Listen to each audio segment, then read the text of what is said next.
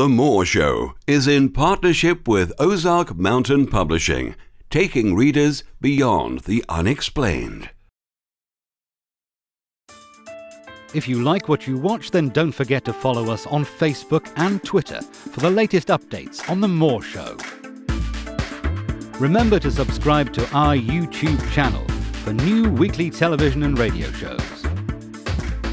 The Moore Show is supported by Mindscape paranormal, and UFO Matrix magazines. Available for download on all major digital platforms. Now, my next guest is Eugene Braxton. He is a near death experience researcher who claims that he has discovered the new near death revelations. Eugene's out of body experiences began at age 6 and will continue night after night, year after year, from age 6 to 16.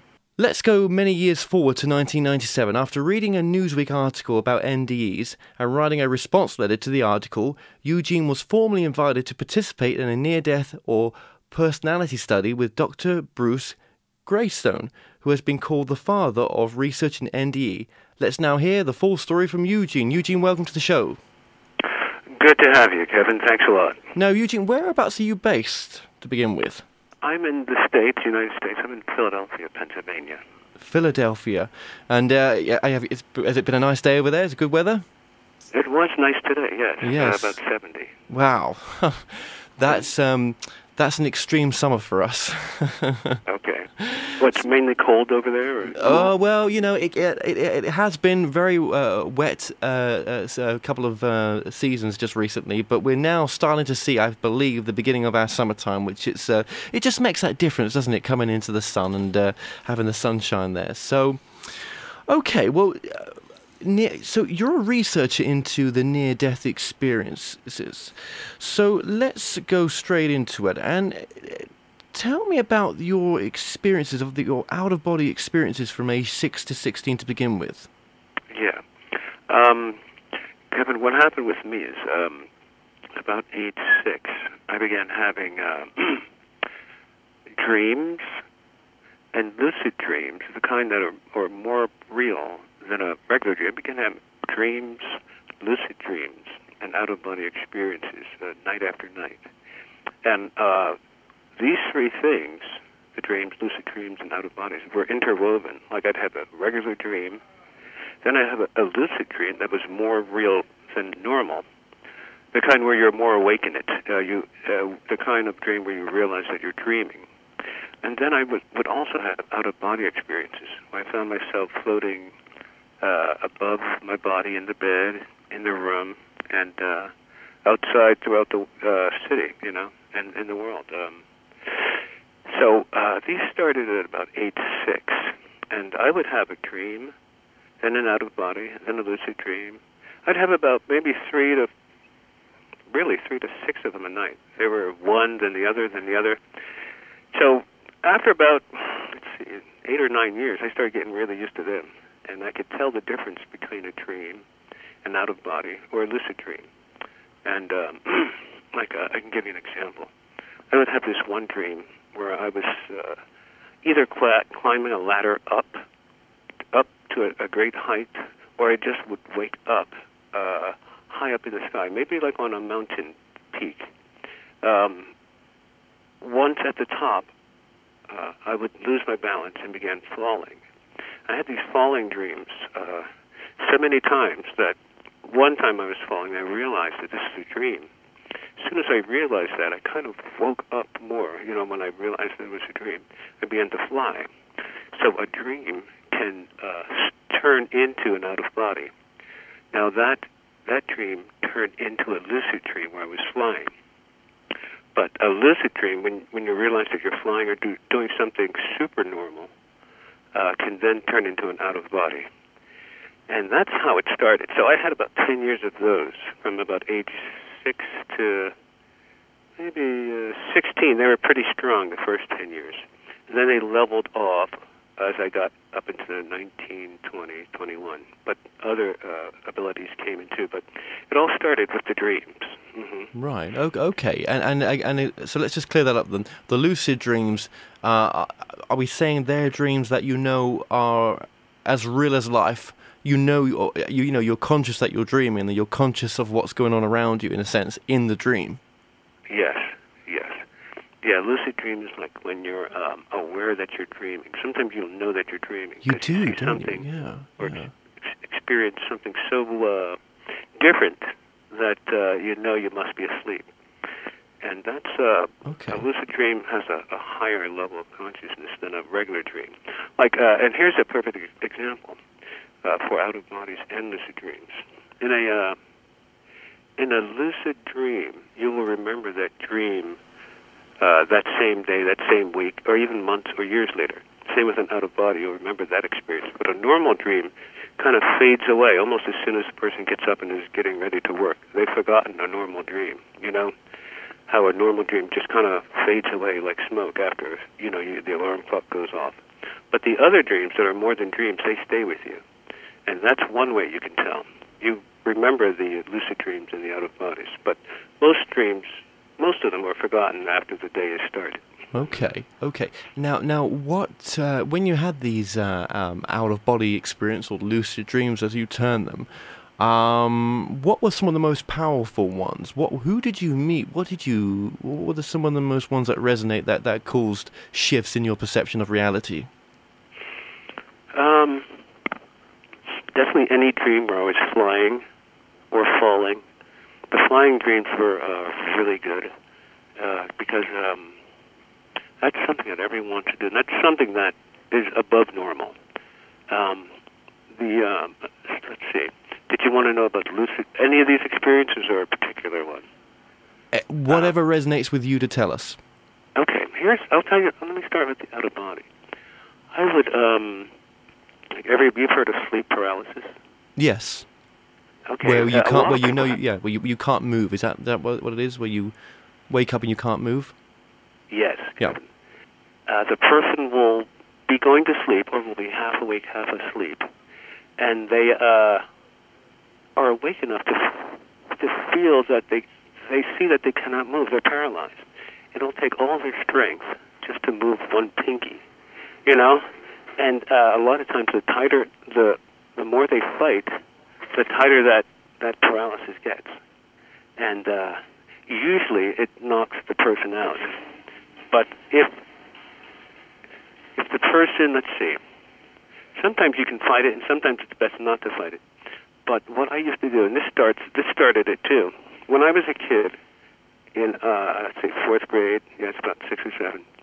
Uh, because of a boring math class, I would look at the clock and just start doing these uh, holding my breath exercises, which were really uh, kind of like uh, meditation exercises. I didn't realize it, but it was a way to burn the, the class through.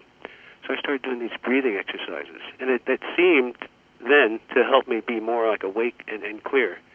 And it was a way where I could uh, burn through the class. So I kind of began doing uh, breathing exercises as a kid, and uh, when I got older, I continued those all through the teenage years. I didn't. I knew that they helped me uh, with health and sports. You know, they made me strong, and I had more air in my body. So, um, but also, what I didn't realize was that those breathing exercises would open up those psychic doors, really like barnyard doors. The the uh, the breathing exercises uh, opens the person up fully to uh, becoming more psychic. That's the really the fastest way a person can be psychic is just doing the uh, breathing meditation exercises.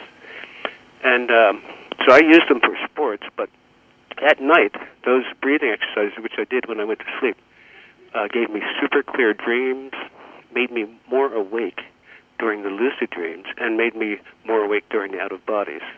So um, it really all starts with those breathing exercises, and and that extra air in the person's body um, gives them a higher level of consciousness. They're more awake, and that that will happen whether they go to sleep or if they're just up in the daytime uh, doing the breathings. But that extra air um, opens up uh, a lot of things uh, spiritually and psychically. So that's where it started, and those breathings helped me become a lot more awake and aware during the uh, out of body dreams and lucid dreams. And but getting back to the out of body, I had been um, went to bed, did the breathings, and uh, and um, you know normally uh, the, normally felt the paralysis coming on. Now everyone doesn't always feel it. Sometimes maybe they might feel it once a month, once a year, or once a half a year, but everyone on a, everyone has had at least one experience that they remember of being paralyzed and uh, not being able to move. And um, that paralysis is the first symptom of an out of body experience.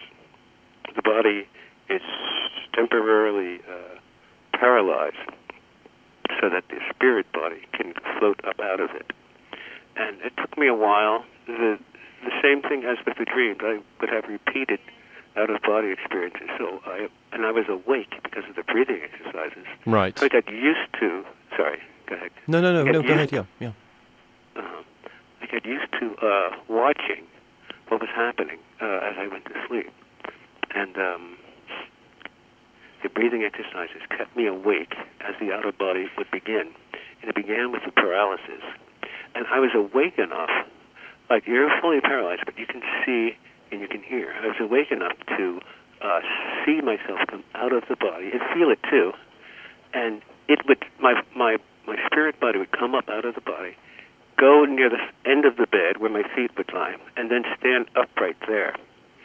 And um, there's only one other uh, person. Now, a lot of people write about out of bodies and and and uh, have had them, but the only researcher who I knew who had the same kind to the T as me was a guy called Sylvan Muldoon, and he was a, a an out of body uh, expert in the 1920s. He's pretty popular, and he's really, if anyone wants to read about out of bodies, he'd be the best one to read about uh, Sylvan Muldoon. And so I saw, uh, as I grew up and studied these experiences, that he was the only one who I re- who I knew who had the same kind and as many as me. So uh, he was very good, and um, but so out of body, uh, the um, it's the astral body or the spirit body comes up out of the uh, physical body. Uh, right it, now, usually the person is deeply asleep when this happens. In fact, most people come home from work, they watch TV, and then they go to bed. They're so tired that uh, it's just like a black wall, you know, a black uh, room. Uh, they don't even. Uh, a lot of people don't even remember their dreams, and even more don't remember the paralysis or uh, the out of body experiences. And I would say out of body experiences, the um, the main reason for the uh, the spirit body or the astral body to have an out of body is to recharge. Like when someone's asleep, uh, when someone's sick, they'll get extra sleep to um, you know get better, and that so their spirit body can stay out of the physical longer, and it recharges in the air, in the prana, as uh, the Indian uh, uh, mystics say or call it. And uh, so when that spirit body comes out of the body, comes out of the physical, it recharges in the atmosphere. It also goes about and does its own thing too. Um, usually uh, during an out of an unconscious out of body where the person doesn't realize they're happening. Sometimes the astral body will act out the dream. The astral body too has uh, uh, a few different levels of consciousness, uh, levels of awareness, how awake they are. I used to, Kevin, I used to have out of bodies where I'd be flying in midair, but almost fully asleep, you know? And uh, so it's uh, the levels of consciousness, uh, how awake the person is during the experience, whether it be dream, out of body, or lucid dream, is really uh, a key too. Those breathing exercises and the levels of consciousness. So, but the breathing exercises, all the extra air, helps to keep the person more awake during these things. Mm-hmm. My, my, my. That's uh, that is so, uh, incredible. Um, uh, what you're saying here. So, so um, we're coming up to an ad break soon. I'm just a bit conscious of that, and uh, that we'll have to stop in a second. But um, so there's all these places to go to when you leave your body, and you've done it in a sense where you've been consciously aware of uh, you know leaving your body and and, and traveling. Um, where did you go to? I mean, did you get to meet dead relatives, or what was there? Where did you go?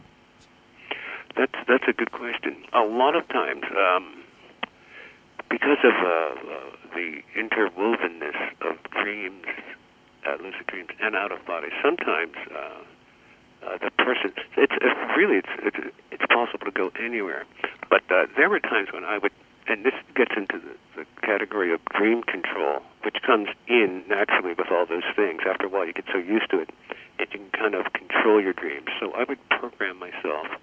I would drift off to sleep with a certain uh, location in mind or a certain uh, event to do or a place to go. And if you hold that thought in your mind as you're drifting off, it you kind of merge or, or you kind of like walk right into the dream. Okay then. Like uh, Okay then. Well, Eugene, we're going to take a quick break there, and after the break, I want to get into the, the dream control just a bit more because that is fascinating. So stay tuned, and we'll be right back. The Moore Show is in partnership with Ozark Mountain Publishing, taking readers beyond the unexplained. Visit themoreshow.co.uk forward slash shop to purchase products and services from your favourite past guests. If you're new to this site, you can also catch up on the previous television and radio shows through YouTube and the Moore Show website. The Moore Show is supported by Mindscape, Paranormal and UFO Matrix magazines, available for download on all major digital platforms. Broadcasting from the studios of Radio Cardiff, you're now watching The Moore Show. Welcome back to the show. I'm currently joined with uh, Eugene Braxton. Uh, now, he's a near death experience researcher who claims that he has discovered the new near death revelations the world authorities have been waiting for. And we're going to get into that in a minute. But first of all, Eugene, welcome back to the show. thank you, Kevin. Now, just before the break, there we were discussing the idea of controlling uh, your your dreams, and you know, knowing, uh, putting, I'm guessing, putting a key message into your head just before you go to sleep. That would allow you then, that as you go into a deeper cycle of sleep, to have control and to take control of your dream. Yes, Incredible. yes, Kevin. Yeah, um, when the person, uh, just like you said, programs or, or places, vi- or it uh, really holds a visual image in their mind as they're sinking uh, deeper and deeper into sleep, um, especially if they, with like a breathing exercise uh, or some kind of like, uh, you know how they used to say that you would, when you go to sleep, you count sheep. Yes. Okay, that's kind of like a, that kind of a visual thing is, is keeps the person's mind awake as their body's falling asleep. And um, when the person has a, a dream image in their mind, uh, let's say, let's say a, a flying dream, the person, uh, as they're going to sleep, pictures themselves flying, and uh, they they actually uh, uh, try to feel it too, or they do. They you feel like uh, let's see, you uh, say you want to have a flying dream. What I used to do, I would, uh, as I'm going to sleep, imagine that I was going into an elevator, and I would get in the elevator, or like climbing that ladder, like I mentioned before. I would go ascend upward, and then at the top of the uh, of the elevator or of the ladder, I would then um, remember. Well, like with my uh, flying dreams, uh, the repeated flying dreams, I would climb climb this ladder or go up in an elevator type thing to a great height, and then I'd be up there stuck. Well, I'd look back and the ladder would be gone. I'd be standing on like a trapeze type of thing, and uh, eventually I would fall off, and I, I would. This happened so many times, and I, you know, it became a flying dream. But the thing is to just place, uh, have a certain visual image in your mind as you're going to sleep. Could be you could be playing a sport. I used to do that. Imagine myself, you know, running track, and just hold that in your mind as you're going to sleep. Here's a good uh, uh, thing that the listeners could try tonight after when they're going to sleep. Um, like there's a way where you can spin yourself into a dream. Like if you imagine you're on one of the playground equipments, like the, the thing that goes around and around, the kids sit on and goes around in a circle. I don't, I'm not sure what they call it in Europe. Yes. Uh, yeah. Uh, America. No, not merry-go-round, but um. Yeah, I know. I know what you mean. Yeah. Yeah. And you run, you push it, and then you jump on. Yeah. Or you can just uh, imagine that you're standing still and turning around in circle. You can literally, and then if you hold like an image, certain street corner in your mind, and, and while you're going to sleep, you get the feeling that you're spinning around and around and around, and you have a destination that you want to go, like say a street corner, a certain street corner that you want to go to. You can literally spin yourself into that dream, and and stop. When you stop the spinning, you can literally be at that place in the dream, but you'll be uh, it'll be a lucid dream where you're awake. Um, but let's see, but that lucid dream can also turn into an out of body. It's Right. like the three the three of them dreams, lucid dreams and out of bodies are kind of connected, almost Yeah. like doorways. Yeah, abs- absolutely. But um, with with what you've you know experienced as well. Um, again, you, you, you mentioned before that you you had you gained psychic abilities. Uh, which increased in power as you grew older, and and um, you know you you know you were able to have more control. Is, is that right? Yeah, um, just like a, e- a powerful dream experience that someone's had has can uh, increase the uh, psychic abilities. Or if someone wakes up during an out of body experience, say you're floating or flying and you wake up and you realize that you're out of your body, you look down, you see your house or you see your bed, that too uh, will give you um, psychic abilities. Anytime your uh, spirit body is out of your physical and you realize it, you'll uh, receive some of that cosmic energy and uh, a lot of times cosmic knowledge. Um, And and that's what you like- gained as well, wasn't it? Cosmic knowledge. Cosmic knowledge, cosmic energy, and the psychic abilities. Yes. hmm I used to have this. I used to want to uh, uh, learn things, and there was this one level. I called it like a level. There was this one place I would go to like learn things, and I would be taught things that would be uh, communicated to me um, subconsciously, and I would later remember it consciously uh, further a few months, a few weeks, or a few years down the road. And so they would uh, teach my dreaming mind, my subconscious, or my spiritual mind. And then later, when I was awake, in time, I would remember, when the time was right, what uh, what they had taught me. Right. And uh, I used to call this the learning level. And uh, in the learning, in that level, like where you go to just get pure knowledge, you uh, you can see figures, but you can't see the details. Well, that's what I was going to say. Um, um, uh, who are they? When you mentioned they taught you, who are they? I, I just seen them as friendly, um, uh, wise angels, or some people call them spirit guides. Uh, as I grew older, that that might have been like a young person's view of them. I knew Yes. that back then. I knew that they seemed kind, and I knew that I could learn stuff from them. But as I got older, uh, I saw those that same experience in uh, an adult way. Like now, and I still I still see them as uh, helpers, teachers, and advisors. But I kind of realize now what they really may have been. And and what's that? Um, Well, as the talk continues, I can get get into that. more. Okay. But, Okay. um, And and at the time when you was having these experiences, did you ever tell your parents? I mean, was could you share this with anyone? Did you understand that it was a near-death experience, communicating with what could have been classed as you know the afterlife? I um most people uh when they have the near death experience and I kind of had I had mine at 15 almost after 9 years of all this other dream stuff. It was almost as if the dream and out of body experiences were uh it's almost like uh the near death was a graduation present for all those years of the out of bodies and dreams and lucid dreams. So that kind of prepped me for the the near death, which is a spiritual out of body. And um, so at, at 15, I had that near death, and by then I was very well used to the out of bodies, lucid dreams, and dreams. Um, so that was like a graduation present, that near death experience. Did you think you was going mad sometimes? During the dreams, well, I, I, in junior high school, like uh, middle school, I didn't like uh, the paralysis. I No. didn't like the nightmares. No, that's terrible. I didn't like trying to run in a dream and feel like you were running in um, quicksand or tar. You know, have you ever had a dream where you're Oh, many a time, and, and I, I, I always have those dreams where I'm running and, and I know something's chasing me. I don't know what it is, and that time slows down. The floors grabbing me to, to not be able to run at, the speed I should, and I come out of it thinking, what, what was that about? What, what, why am I always going through that?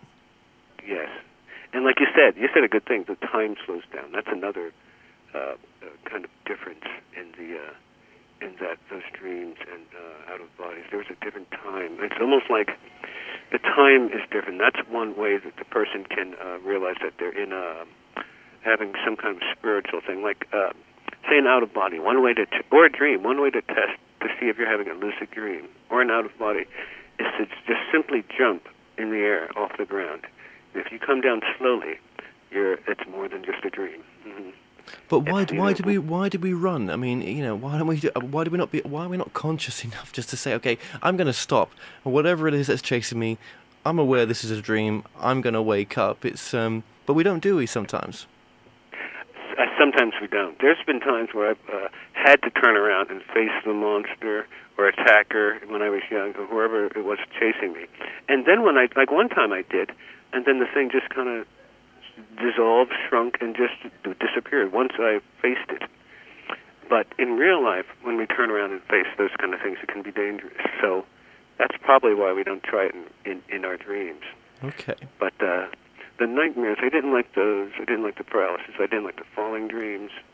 I wanted to be normal like the other kids. I would, t- you know, I didn't want to have those nighttime things happening. But uh, there were also on the s- same side, there were also daytime things happening too, where it kind of crossed over those experiences, crossed over into like the uh, the waking life, and uh, the waking life and the, the dreaming or psychic life or the nighttime spiritual life is they're related too, like brother and sister, night and day. And usually, once you get one, you'll have the others. hmm Like if you start having uh, powerful dream experiences, uh, it'll show up in your real life. Just like they say, if you have a dream, a dream of, uh, like I used to have future dreams. In Future fact, dreams. Yes. mhm, that My- came true. My my mother used to do that. Yeah. Okay. Yeah, and they did come true, um, which was the scary thing about it. Uh, yeah, future dreams. Um, have, have you had those? I have. I have. And, and what In have you dreamed of the future? Well, I used to have, and I used to do a lot of sports. So uh, I lived in Ohio at one time, and they have a lot of uh, waterfalls and lakes and floods. So I was also on the swim team, so I was a good swimmer. And I used to have this, uh, while I was on the swim team, I used to have these dreams of drowning, of my legs being stuck or tied up and, and bubbling underwater, even though I was a good swimmer uh, in the swim team. And we used there, uh, we would have a flood in Ohio, and we would go out during the flood and swim, you know, in the flood. We used to go to uh, uh, the waterfalls during the flash flood and swim, and so that's how good we were. But so I couldn't. When I was on the swim, I couldn't figure out why I was having these dreams of drowning when I was a good swimmer. And we were taught. I played water polo too. We were taught to swim with one, just one hand or one leg. And so uh, I kept having these repeating dreams of drowning and of being my legs being stuck.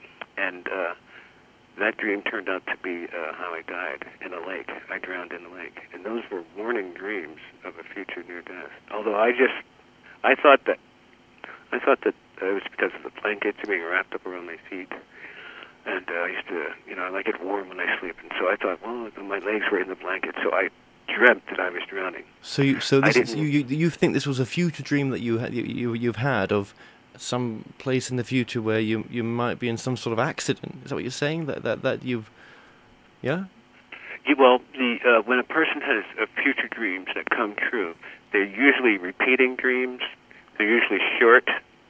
They're vivid. But but but this th- this has never happened though to you. Not before. No, this is my first main future dream.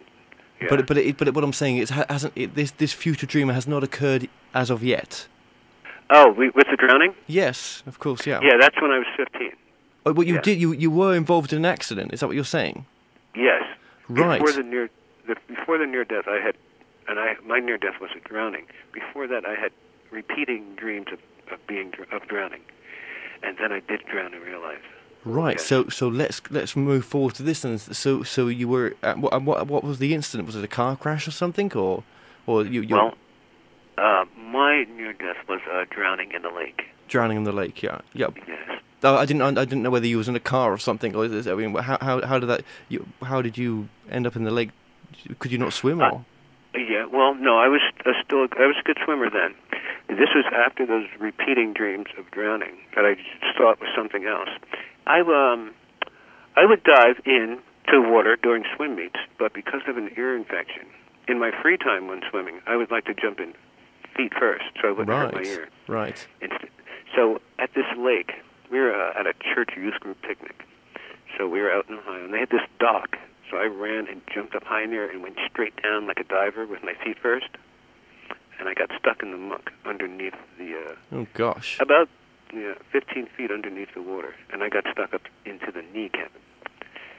Wow. And uh, the, that's that kind of that's where the legs being tied up, uh, the dream of my legs being tied up, and I couldn't move my legs and drowning. I was stuck up into the knee, uh, the right knee.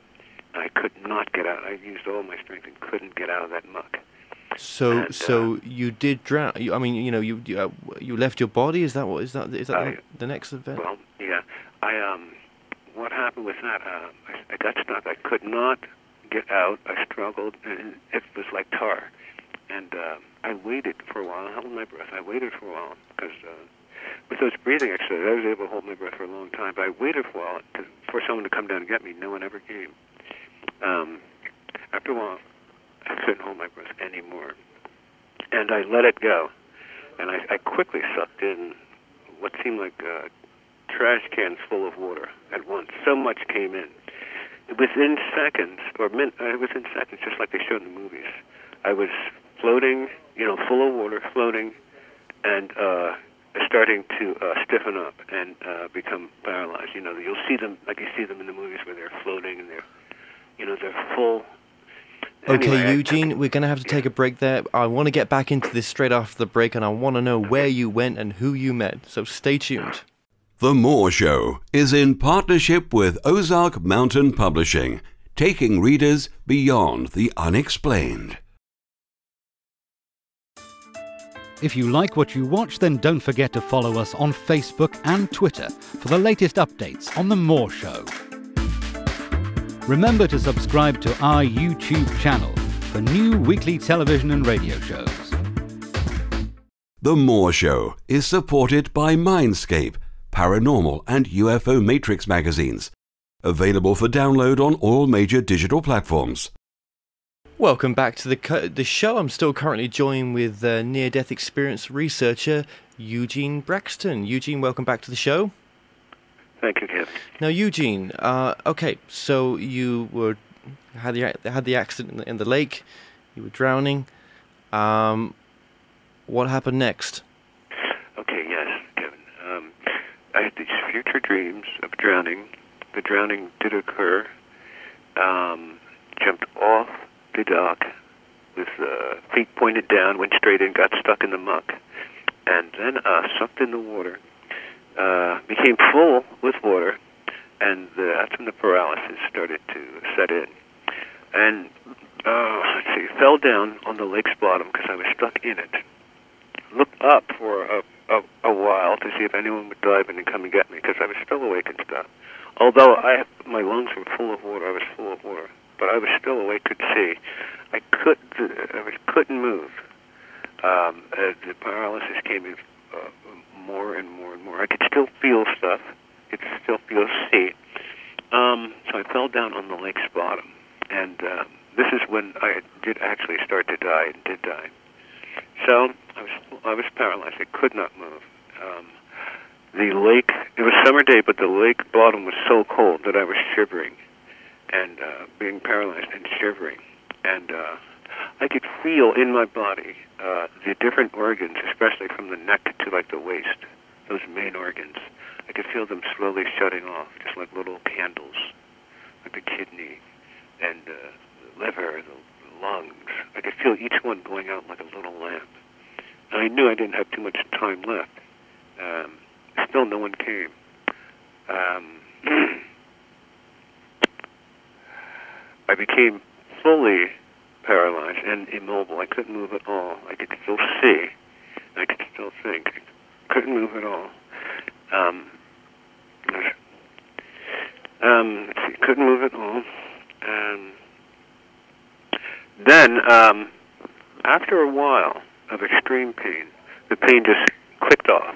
Right. Um, and then there was no pain. And you hear about these people having near deaths, and they have a peaceful feeling before they die. They're not afraid. They're not in pain. That's what happened. All the pain went away. Uh, I was still awake. I was not in pain. I was still paralyzed. Could still see. Could not move at all. But the pain was gone. The bone- was you was Go you was you enveloped by a tunnel? Like they talk about a, a tunnel, or, or and and being That's- drawn to love. That's coming up. Yeah. Yeah. Um, it's an interesting thing about the death process because it is a process. There's certain things that happen, and it happens like in an order. So we had the paralysis. Uh, we had the, the the pain and the uh, fear that stopped. When a person knows that they're going to die, uh, they instinctively they they instinctively know I'm dying. When I felt those organs shutting down, I realized my body is dying, and so and no one's coming down here to get me. So I'm gonna I'll probably die too if they don't someone doesn't come down quick. That's what I was thinking. And while I was thinking, I could feel the organs shutting down.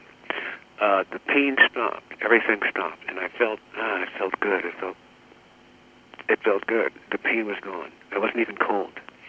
But um, and then uh, the only thing I could hear, Kevin, was the heart beating, and I could see. Those were the only two uh, things left. Um, and I could hear the heart beating slower and slower and slower and slower until like maybe the beats were maybe eight seconds apart of the heart. I knew it was going to stop. Suddenly, it did stop, and um, when the heart stopped, I heard like a loud boom, and almost like a garage door being slammed shut, and then everything went black, and I had died. Um, a short time after that, I kind of popped awake. I woke back up, and um, I had been used to that from uh, dreams and out of bodies. You could, you can be in a dream, and uh, realize something, and then uh, just appear somewhere else. Like um, whenever your level of consciousness changes, so does your the location. Uh, so does the location. Uh, let's see. Whenever your whenever your your level of consciousness changes, so does the dimension or location or space where you're in changes. Um, but getting back to the uh, the drowning, I suddenly woke up, and I didn't realize I was outside my body until I looked down and saw myself in the lake. I thought I was just I thought I was myself waking up. I looked down and saw my dead body in the lake, and then I realized, oh my God, I, I, I died, but I am alive again. So when I looked down and saw my, and I had been used to that from the out of bodies, I realized that I was dead, and um, I was glad I was alive, but I knew that I had died. Now, right after that, and and there was a lapse in consciousness, where um, like I was talking about the dreams, you just suddenly appear somewhere else. Right as I realized that I was um, alive again, and I noticed my body; it was going through several different changes, which I put in the book. And um, uh, once I noticed the, the the way my body changed, the way my spirit body was changing, and it went through several different changes before it stabilized. I um, I was just in a, a room type setting. Now, Yeah. and what where I had gone was to have my life reviewed. You've heard of that? Oh, absolutely. Yeah. So that's where you went. That's where I just appeared in. Yeah. You just appeared. No, I'm hell. not- Yeah. Mhm, I just was there. I don't know. If, well, anyway, I was just there. So, in my dreams, sometimes in dreams and things, and and, and maybe we can talk about later the, the lapses in consciousness. In and I was, so I just appeared in this life review room. It's a, it's a, it wasn't really a room as much it was a, a review. Um, what they do is what I saw was I saw three uh, giant would plasma screens to us now, and uh, in each screen were different uh, things that happened to me in my life. One screen was everything I ever did, and these were visual moving picture screens, almost like in a kaleidoscope way, where you can see the images, kind of uh, like when you shuffle a deck of cards, you can see all the, all the cards almost at once Wow. and I could see uh, everything I did, everything I ever thought on another screen, and everything I ever said. Everything you And- ever and- thought. Everything Yeah. I ever thought, yeah. And it went in a, uh, it went in, um, let's it went in a kind of like a, a multi-dimensional way where you saw everything at once, kind of like the deck of cards image. We can see all the cards uh, just, uh, you know, uh, being shuffled by. You know, like when you shuffle the cards and you can see them all Yep. at once. It was like Yep. that. And uh, I could see all the three screens at once. Also, there was a another moving a band of images that went around that, and they were showed other things. They they showed other things in my life, like they showed um, the, the effects of what I had done, how it affected the other person, or what I had said, how it affected the other person, and I felt it too. Um, and here's an example. One time I, I threw a rock at a kid in camp, and um, in the near death, I saw that uh, replayed, and I felt the rock hitting me as it hit him. So everything that was done or was said, I felt how the other person reacted back to it then. So you you you, you live through the exact things that you said or did or uh, thought about anyone else. You live through that, and uh, so I was I could feel what they felt, and uh, it was just interesting. And, and and you see all these things in your mind all at once because it's your mind's your mind's kind of receiving it, and it's a lot more aware and uh, open than your conscious mind. Your your subconscious mind is higher and can receive all those multi images at once, and um, you actually feel them too. Like in in those higher worlds, Hmm. uh, you feeling is important. Like you, it's almost you can almost see the truth better if you close your eyes than if you look, because uh, there's a lot of illusion that uh, occurs in those higher worlds, um, and as well as dreams and out of bodies too. So the person uh, has to uh, be able to distinguish between the illusion and the reality. Just like in an out of body experience, when the person is paralyzed, some people report that they that uh, things are sitting on them or that uh, something's crawling up in the bed. And um, when people have out of bodies, out of uh, when people have the sleep paralysis, those, that's a normal thing. And uh, let me just sleep paralysis. Let me just read this to you. Sleep paralysis may be also accompanied by hypnagogic, hypnagogic hallucinations. These hallucinations can be auditory, tactile, or visual. So um, there's a there's a uh, uh, a middle part of the sleep paralysis where people imagine that they're seeing things that aren't really there. Okay, and when they break out of Okay. I'm sorry, Ken. No, yeah, no. I just want to. Uh, uh, uh, fascinating what you're saying, and I know we're so limited by time. That's that's. Yes. There's so much to, that I, I, I really want to get uh, sort of touch Okay. upon, but yeah, no. I mean, I mean that that time spent reflecting on on what you did to others and how that made them feel, and vice versa. Um, that must have changed you as a human being. I mean, when you, because obviously you came back into your body after after the uh, you know, but I mean, how how did that change you? Uh, you- It um it made me it made me more aware of what I had done, seeing it, um, seeing it happen, and seeing how it affected others, how they felt about it. You know, Yeah. maybe I was had cursed at someone, or or you know how kids are. And I was only 15, so it wasn't too much bad that I had done. I was a normal kid, and but seeing it uh, just opened uh, me up to. It made me learn more about myself. Has has it has it made you in your adult life to be more percept, perceptive on you know being careful that what you say to Yes. others and how you treat them because you know, Yeah. you know you're, you're you're thinking of of them more, but but in a kind of way as well. When you were when you was in that room, it it must have been a sort of symbolic to see that how we're all connected as one. Perhaps you know that what you do to another, you really do to yourself. Yes, you do. Yes, you do.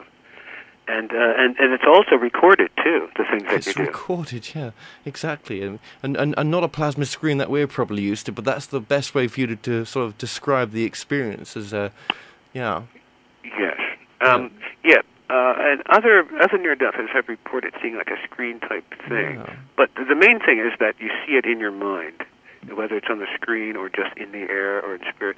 You you see the images of what you've done to others and how it affected them, and what you thought, what you said, yes, and what you did. yes. And, Did, uh, did you get to meet anybody else in the room when you were? I, I mean, after the, ref, the, the you had the reflection, uh, self-reflection on, on on on your life up to that point. Did you get to meet anyone else? Was there anyone that sort of greeted you? Did you get to Uh, speak? That's a good question. there was um, uh, a presence there, kind of like uh, overviewing and asking me questions. In fact, there were three questions that were asked. There was a presence there, but, and I could feel, but I could not see it, the presence. And the uh, world authorities wanted to know about that, to ask that same question. They said, uh, "Who was with you uh, in the life review uh, room? Was it God, the angels, Jesus, or some other?" And um, that um, with mine, it didn't seem it didn't seem to be God, but it seemed to be someone of uh, in between God and and uh, and myself. You know, someone of a high authority, and uh, like you know, uh, other other people. Uh, someone might see Muhammad, someone might see Buddha, but there was some kind of judge there. It may have been God too, but he would come later. But there was someone reviewing me, and it, some people even said it was themselves reviewing themselves. But I don't, I can't say how someone can review themselves. You know. But is, is it isn't self-reflection the worst kind of reflection? The worst kind? It can be, yes. you know, I, I, I, I mean, who, who can ju- judge ourselves, you know, more than we can in a sense? Um, I mean, it sounds like you're judge, jury, and execution there in a, in, a sense, even though there was no punishment for anything. I mean, do you think the reflections? I mean, I'm conscious of an ad break coming up here right now, so you know, we're just going to take a quick ad break, and I've got many more questions right after this. The Moore Show is in partnership with Ozark Mountain Publishing, taking readers beyond the unexplained. Visit themooreshow.co.uk forward slash shop to purchase products and services from your favourite past guests. If you're new to this site, you can also catch up on the previous television and radio shows through YouTube and the Moore Show website. The Moore Show is supported by Mindscape, Paranormal and UFO Matrix magazines, available for download on all major digital platforms. Broadcasting from the studios of Radio Cardiff, you're now watching The Moore Show. Welcome back to the show. I'm still joined with my guest here, Eugene Braxton. Uh, and we've just been discussing his near death experience. Eugene, welcome back to the show. Thank you. It's an honour to have you here. Actually, this is a really um, um, um, interesting recount of your uh, of your, of your, of your near-death experience. Um, you know, we had a text in from uh, a guy called Jamie just earlier on about uh, whether the soul continues or not um, uh, when uh, when you pass on, and um, you know, I've always believed it does. And from what the experience that, that you've had, which was you know real to you, uh, it surely does, and, and did carry on. And and of course you've, you're you're here to tell the story uh, when you, when you came back from your near death experience. Um, Yes. and you know it, it, I, I guess all sorts of possibilities you know become become um, um, apparent that they perhaps you know there is such thing as past lives as well that that, we- that we you know, you know we, we, we carry on and we can come back and um, I think this gets gets into the, the, some of the work that you've done as well. Um, but before we just get into some other areas, let, let, you, you mentioned um, to my producer as well that um, you've discovered the new near-death revelations the world authorities have been waiting for. and, and- yeah, and, and, you- and you Yeah. mentioned that you've been in contact with some, you know, big-name people like uh, was it? I am I'm just this is what I've been. Is it David Cameron, uh, Bill Clinton, and, and, and some other big big Uh, big uh, big people? I, I spoke with uh, David. I talked to David Cameron. Um, Clinton helped with uh, letting a lot of these big people know. He he was Clinton was a Facebook friend, and he saw some of the research and and, and told and told the others. I had people like George Bush trying to be my Facebook friend, Supreme Court Justice John Roberts, Margaret Chan, Bill Gates. They came to me to friend me. I was like, this is last summer. I, I couldn't believe it. And, uh, you know, I had had some movie stars, but with people like that, you know, What, what, how, how, how had this occurred? I mean, obviously, they, they must have, what, they heard of this story? They, they, what, what, on Facebook, some I'll, I'll post a lot of uh, uh, the near death and UFO stuff on that, and they they saw it through there. hmm okay, okay. Well, I mean, I mean, um, that's, that's fair enough. Um, well, and, and what was the response? I mean, what, what, what, what, what did, um, What were the what what were these new near-death revelations? Well, um, and I did want to say something about. Uh, I, we can get back to the life review, review again. Um, one thing about that, and, I'll, and then I'll tell you about the web. With a life review, it's like God shows the person everything that they did, so then when it's time to judge them, they have nothing to say because He replays it for them so that they remember what they did, and then the judgment can be fair. So that's one of the reasons for the life review. God goes over everything that the person said, thought, or did, and uh, uh, asks asks them uh, wh- about those things and if they could have done them better. Like uh, one of the questions they asked me, there were three questions, and I'll, I'll get by this real quick. They asked me, um, "What have you done to help others? What have you done to help yourself?" And uh, let's see, help others, help yourself. There was one more, but they asked, um, "What have you done for others? What have you done for yourself?" There was one more. I'll, I'll, it'll probably come up, but they, there were three questions that were uh, introspective. But God shows, God allows the person to have the, the life review so that they can, when it's time for Him to judge them, and He does, they can have no, uh, you know, they, there can be no backsass about what they did because He just showed them to them, you know, all their experiences. That's like a little, uh, a little thing with the life review. He shows you what you did, so when it t- comes time for the judgment, you have no excuse. And this is especially for the real bad people, you know, say like a Hitler. Well, uh, okay then. So you- so. Uh, if I just kind of quickly summarize what you're saying, is that there there is a there is different levels. Is that what you're saying when when we pass on? So if someone f- that, that that's done harm to someone else knowingly, um, how how are they dealt with, in your opinion? They are pr- just like it says in the in the uh, the Bible and the religious books. If the person, uh, what I've seen and what I drew from all this, if the person believes in God, um, that's his sole requirement. If, if you believe in God, then everything else can be forgiven. And just like they say, it, he seems to almost be uh, like a jealous God. He is alive, and the world is alive. Like when I first uh, had the reconscious, I, I had when I uh, regained consciousness after death, I could feel the the heart. The world had a heartbeat. The universe had a certain heartbeat, like a throbbing. That was uh, exactly the uh, in tune with my own heartbeat. So the heartbeat that I had was in tune with the world. It's like one one whole heartbeat, and you're connected uh, with that. So you could feel like how how alive the world was. But um, I'm sorry, Kevin. Your question was about. Yeah, no, I, w- um, I cannot remember what my because my, my, my- head's racing around here, just trying to to, to just to keep up with everything. Um, what what what the revelations that uh, that's they were right, the checking, revelations. That's it. Yeah. that they were checking out and that they liked. I was able to uh, a lot with the near-death experience has to do with what the person remembers.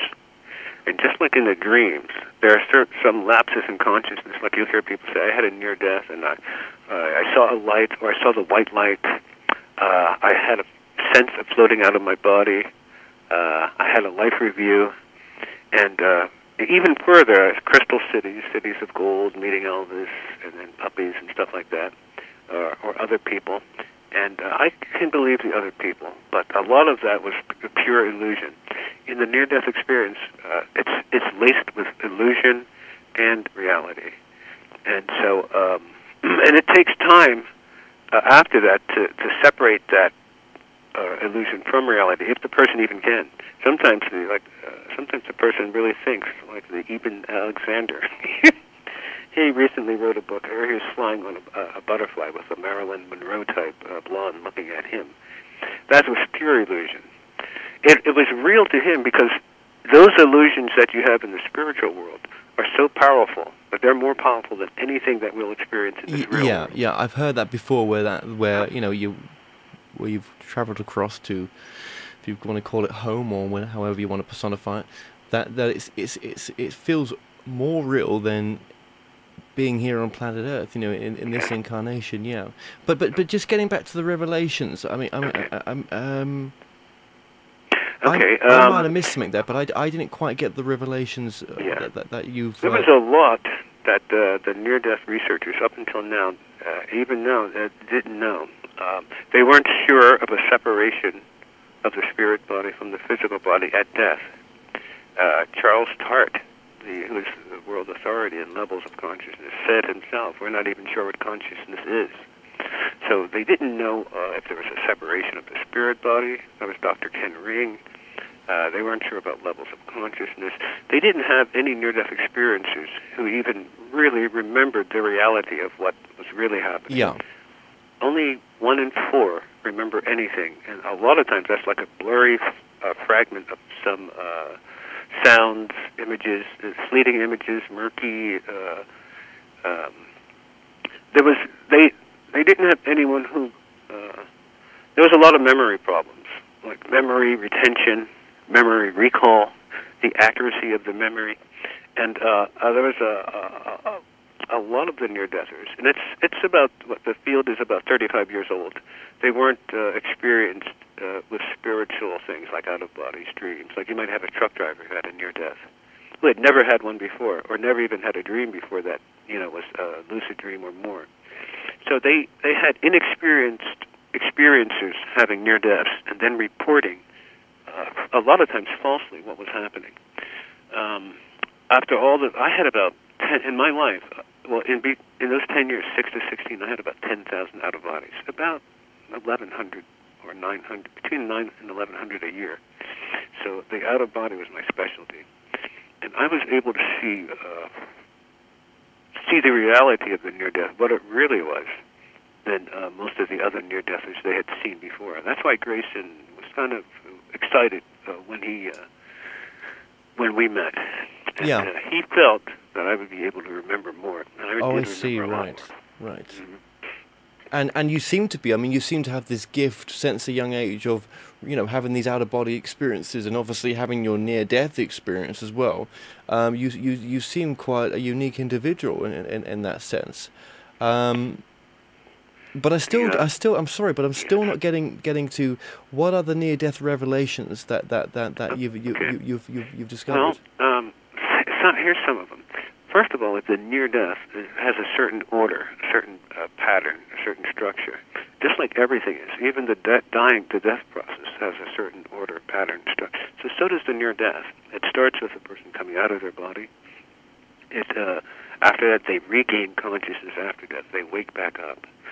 Um, there's a life review. There's a judgment. Um, resurrection there are changes in the spiritual body as they go through these higher levels in the near death. And uh, so let's see. You have the, and I'll run it down. You have the, um, Yeah. you have death itself, which is an actual stage. And that's what. The, so these are the revelations we're, we're running down now. Yeah. These are some of them, yes. Yeah. Some of them. Yeah. Yeah. And so they they, they didn't know the order of the near death. What happened when they knew it had certain stages, Yeah. but they didn't know if there was any order or or even what the stages were. So some of the stages are there's death, Yep. there's reconsciousness after death, Yep. there's a life review, Okay. there's a judgment, um, there's a white light, Yes. and uh, there's a resurrection. There's a mixing and merging with God. Right, person. right. So I see what you, what you've done here is you've broken them down into stages. There are stages, yes. Yes. Yeah.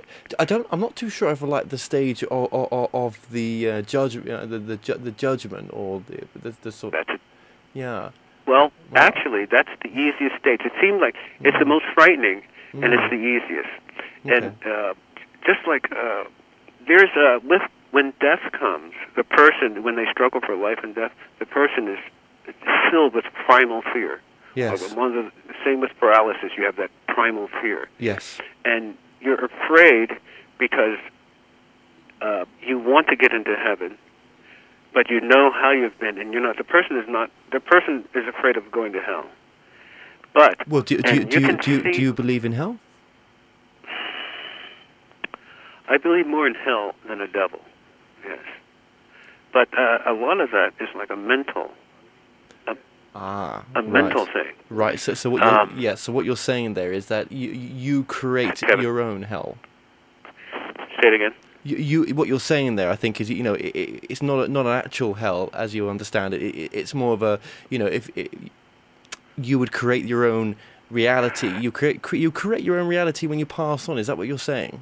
Well, yeah, there is a, a judgment, and they're. Um, but with God, it's like if you believe in Him, then all those things can be easily forgiven.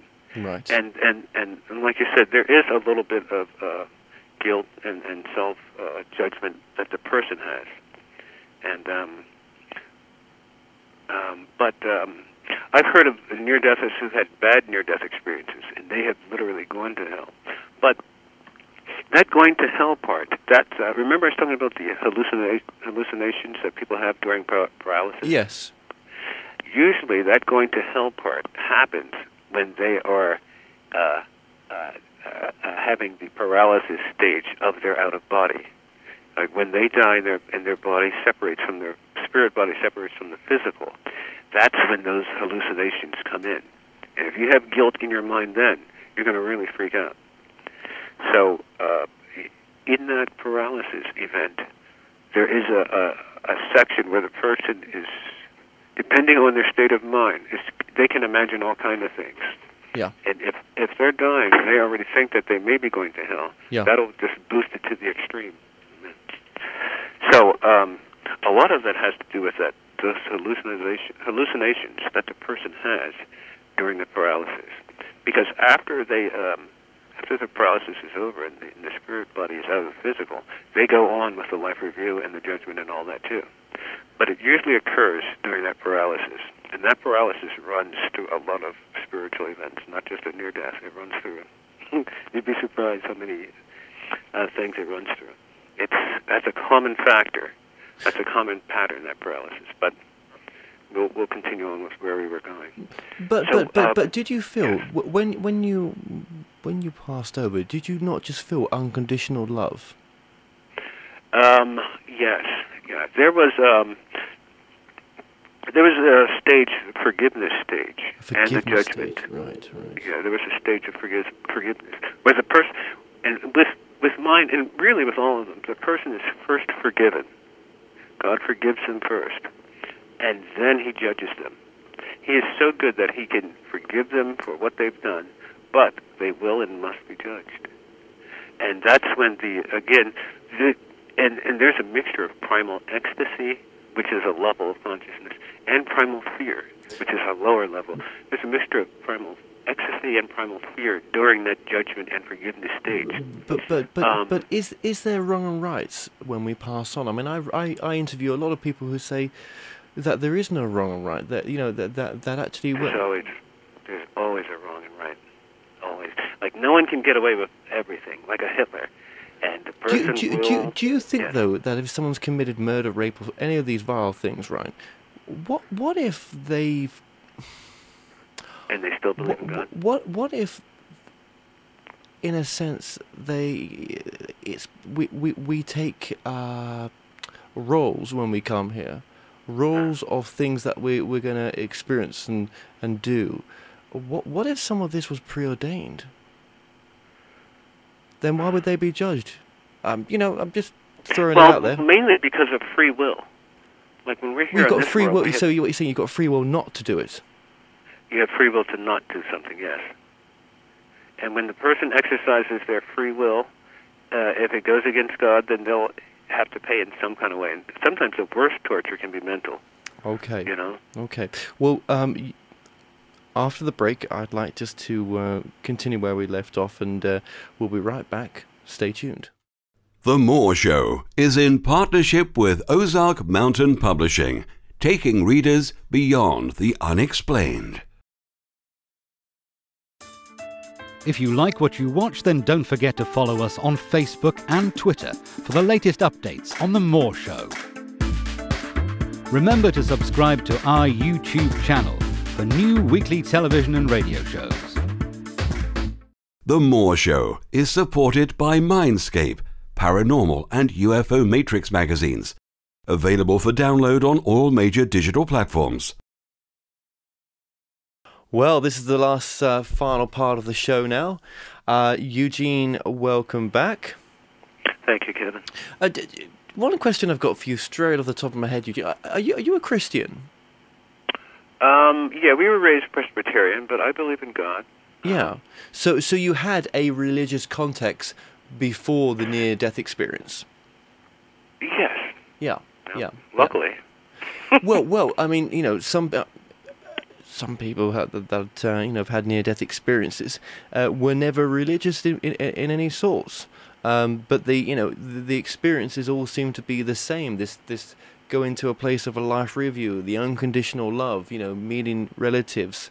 Uh, Yes. Spending hour, um, uh, days, what which we, uh, the- uh, in this place, call it home. That's just for a context, um, and what only would have been seconds of, for, for the time that you know of the the event as it unfolded. You know, with you drowning.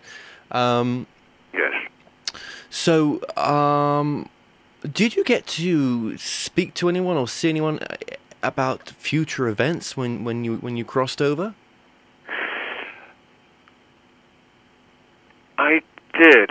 Um, they told me the reason why I was to come back, and because I wanted to stay just like the others, and they said that in the future I would have a son that I had to come back for and take care of. And and did you? Yep. You had a son. Yep. Okay. Okay. Also, you know, there's um, a couple of things I wanted to. With the um, there's a here's an interesting thing. It only take like a ten seconds. With when the judgment occurs, at least with mine and with others I've heard too, and and seen, there's a, a point where the person is levitated in the air about the height of a telephone pole or a tree, and uh, their arms are outstretched, just like Jesus was on the cross. And the person is held in midair like that, and then God comes to the person. And the world authorities were uh, concerned. It's a it's a beautiful thing, but the world authorities were concerned about that kind of control. And uh, at the end of the near death, we uh, uh, looked into what they call the controller, who controlled the near death. There was there was a lot of free will, but there was also uh, complete control, like with the paralysis and the levitation with the person. And I think uh, there may be a picture there, but the person is held in midair with their arms straight out when the judgment comes, and um, person has a mixture of primal fear because God's coming once and for all to deal with them, and of primal ecstasy at the same time. Because if anyone can get them out of Yeah. that jam, it's God. So so did that experience happen to you, Eugene? Yes, it did. And and and uh, did you get to meet God? Met him, mixed in with him, uh, merged with him. Like it's uh, like with the merging, one is done physically, and uh, melding is done mentally. So you get like a tur- total immersion. You you you meld Uh, mentally. so, so so when we say you met God, so sorry, I just want to. Um, are you saying uh, it, it was a physical being, or, or or was it more of an energy? Both, both.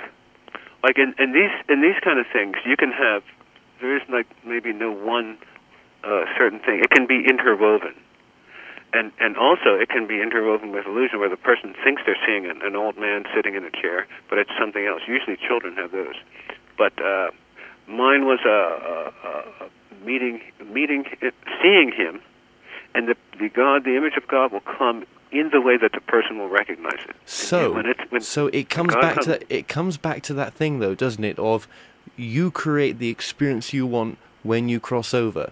Um, you saw God in the image that, as you understood, but someone else could see it as a woman.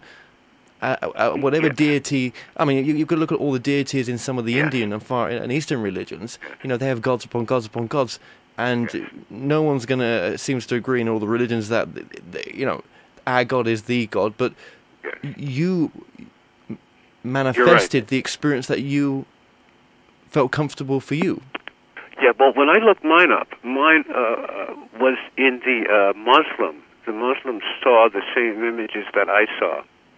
You know, when I saw God, and mine, I'm black, so it, it might have been the a heritage or genealogy thing Yeah.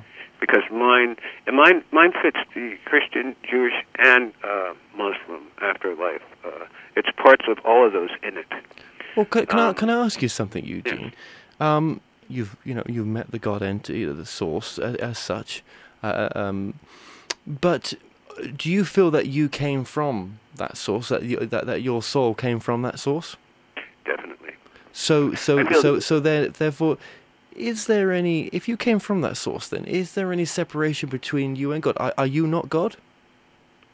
No, no, no. There's a God. There's a definite. But but but if you but it, but if you came from that source, is is that not you? No, that's like a father.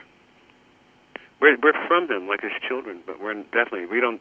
He's way too expansive for that, you know. And um, You know, I've, I've interviewed people it's where, a where, separate where- where- entity altogether. yeah, I've interviewed people where they say that you know, um, actually we're here having an experience for God on on its behalf to you know to to learn core things like love and forgiveness and everything else. Be, you know, I don't know. I mean, this is just what they've told me, and um, but that you know, in some form, they all seem to tie in together with what you're saying, um, and it's and it's and it's uh, you know, again, it's it's it's the experience that you had. Um, I mean, a person like a person. Uh, a person is themselves, and then there's something else. Like a person can't be something else; they can only really be themselves. And we can, like we, if I were God, I could not make myself. And there's there's a, an actual, real God who's alive, who lives, who has feelings, and who has good forgiveness. but then, what is not God? Well, I only concentrate on what is. But what is not God? know. I, I, I mean, if God is everything and every and everywhere, then everything's God, isn't it? You, everything. well, we're part of Him, but we're not Him. Just like no one can, you can uh, mix into God or merge with Him, but you can't. You can know Him, but you can't. You can know of Him, but you can't know Him. You can't. You know, you can't know the mind of God. It's just, it the, the human mind.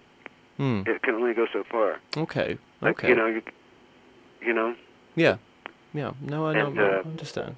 There's there are limits. Just like uh, like we rely on God to get us into heaven or to send us, you know, to get us into heaven. We can't get ourselves in. We couldn't even resurrect ourselves or regain consciousness. That when we come out, our that's an it's an uncontrolled out of body when we uh, uh, leave our when our spirit leaves our physical body. Uh, that's not under our control. We are like raised up out of ourselves, and um, just like in that movie, The Exorcist, when the priest makes the little girl float in midair, or not him, but the power of God, the power of Christ, they say. That's there's there's always an outside control or controller. Uh, the humans only have a certain amount of control. They have less than they think, but they're more than they think too. But there's definitely a separate God who rules and, and rules supreme. That was the, probably the main lesson I learned. And he's judgmental as well. You say. He's, he's, he's a jealous God. He has feelings, passions, and um, anytime something But but that it, but it, but is that does that come from love though? love is that's that's what God is love. Yeah. Yes, but if God is love, then He's not jealous or, or, or vindictive or or or, or needing Not vindictive, L- Love is love. Is, he- love is unconditional, if- isn't it?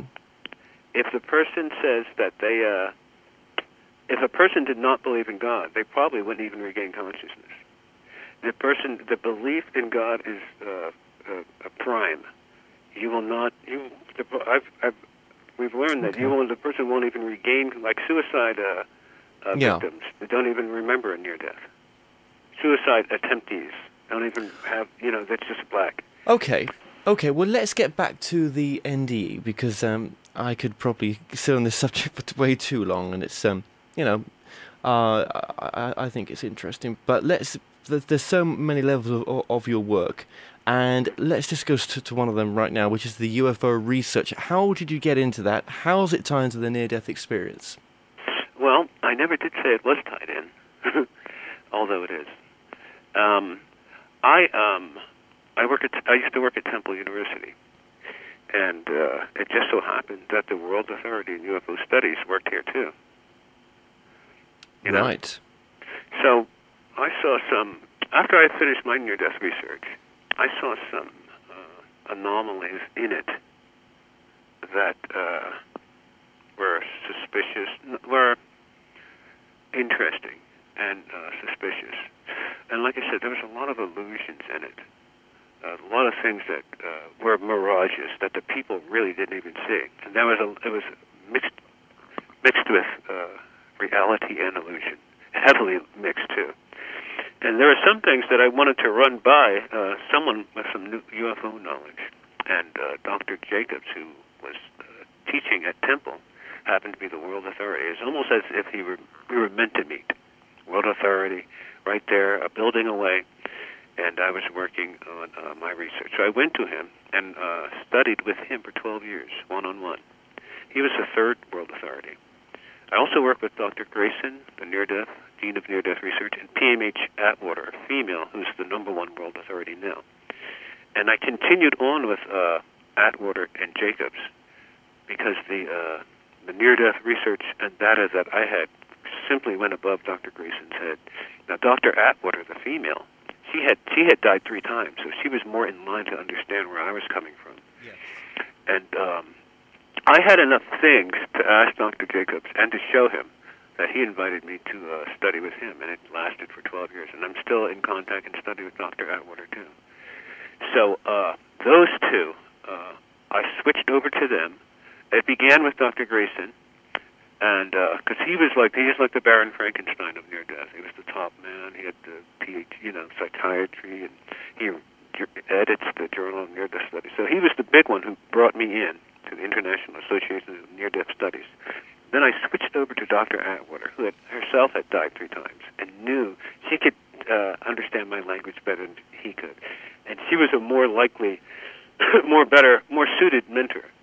And Dr. Jacobs was great too, and I learned a lot from him and had a lot to ask him. I I've had some UFO experiences and have the scars to prove it. Yeah. But um, all all of these experiences are tied in with uh, uh, one another. And when when uh, see with the researchers now, they're all specialists in their own field. The out of body guy doesn't know nothing about near death. The near death guy doesn't know nothing about UFOs or lucid dreams. And um, so what what I dealt with was uh, all of them all together. And they're all there's a lot of similarities and patterns within, within all of them. And luckily, I was able, and I had the experience, and was able to get with these world authorities and learn with them and dialogue with them and, and see what was really happening. We came out writing a book, and I have two books, in fact, that has some amazing stuff in it. And it, uh, uh but the the uh, there's so much to it. Especially with the illusions, what people think they see, what they don't see. Absolutely. Primal fear, Absolutely. primal ecstasy. Ecstasy, the primal ecstasy, where some people call nirvana, that's an illusion and a big one. Okay. But that, What- that what- comes after the near death. Eugene, you just mentioned your books there, and, and your, do, do do you have a website? I do. It uh, should be in the. Um, I think it's on the uh, bulletin board. Uh, Joanna. It's on your web. It's on your website. Oh, okay. So, so the links are all there on, on our website. Okay. they are. Yep. Yeah, uh, They my, my producer's just nodding at me to say that, that they, there they are. That's fantastic. Okay, so if, if people want to get in contact with yourself or look to see more about your work, because we've uh, come up to the uh, top of the hour right now, so we're just at the end of the show, uh, they can find more by going to themooreshow.co.uk. Um, well, Eugene, I would just like Or to say. they, Sorry, or they can Yeah. catch me on Facebook too. That's a good place until I Ah, get. Uh, yes. Right. And and well, uh, we'll link the, link your Facebook into our website, so we'll we'll get that sorted out, so everyone comes the links on there. So Eugene, thank you so much for joining us today. It's been very very interesting. I've uh, thoroughly enjoyed it. it was good talking to you, Kevin. You're a good interviewer. I you know. appreciate that. And You know uh, a lot about the subjects. well, it's uh, yeah. I mean, it's it's been an interesting one. So thank you and God bless. Thanks a lot. Okay, well, uh, we'll put the links onto the uh, Moore Show website uh, just after this uh, show's uh, finished. And um, just want to thank you so much for joining us today. And we'll be back on Monday at one o'clock. Until next time, take care.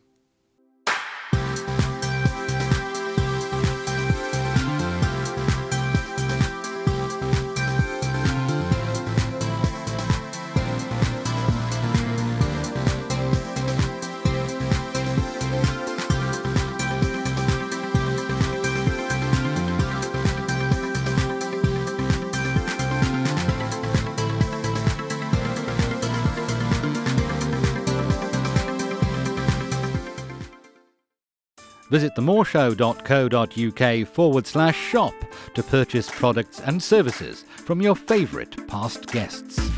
If you're new to this site, you can also catch up on the previous television and radio shows through YouTube and the Moore Show website.